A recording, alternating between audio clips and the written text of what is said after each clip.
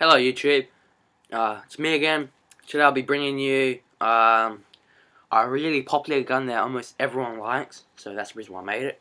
And it's the FN Scar H. And I'm not much of a fan of the Scar H, but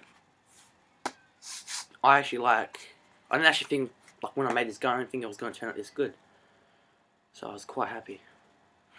Um, so, um, quick look.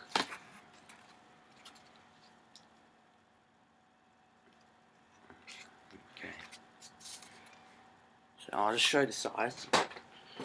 No. This is uh quite good. No. It's a good size. And um oh, so bad. Um so let's just get let's just get down to the features.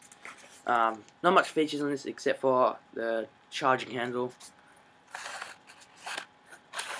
That's about it. So that's pretty cool. And uh, detail, we got detail wise, we got um railing on top, railing on the side, some knobs. You uh, select the switch, I think that's what you call it.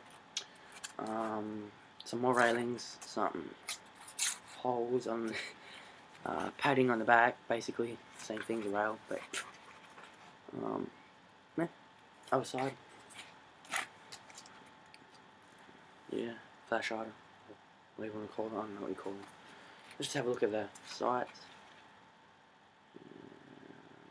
It's alright. Okay, um, yeah, not much to say about it. Once again, um, stop. Um, so rate, subscribe, tell me what to make next, and uh, keep building guns.